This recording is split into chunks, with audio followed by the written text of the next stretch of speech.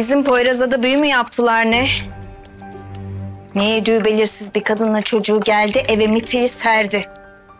Annem de perişan oldu yazık.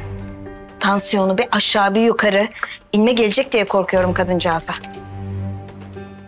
E benim de durumum belli. Malum yüklüyüm. En huzurlu olmam gereken zamanda böyle kalbim ağzımda küt küt.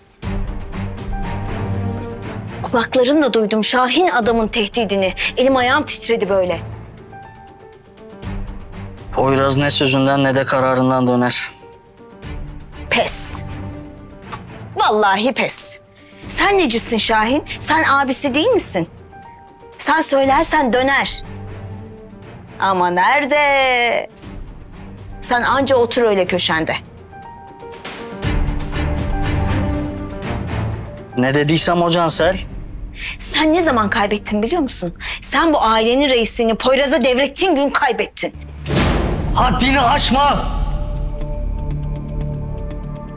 Babam öldüğü gün ben bundan daha beter haldeyken hastanede can çekişirken kim üniversiteyi bırakıp da dükkanın başına geçti?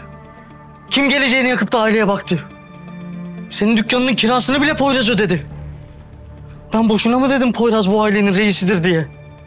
Bu çocuk bizim için bütün hayatından vazgeçti. Bütün hayatından. E, Sinirle şey ettim canım. Hemen celallenme. Öyle demek istemedim.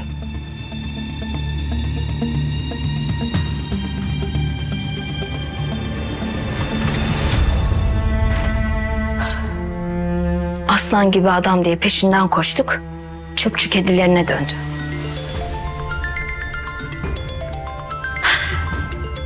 Efendim ablacığım. Senin canını mı sıktılar güllerin gülü? Sesinden anlarım ben. Söyle kardeşler ne oldu? Ya Poyraz'ın işleri işte biliyorsun. Vukuat biter mi onda?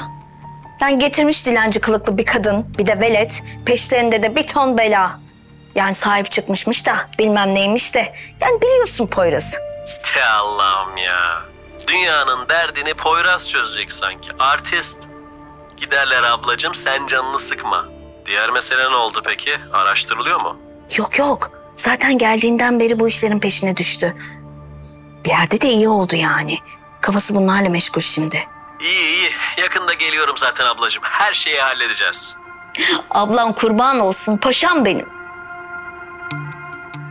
Vitaminim benim ya.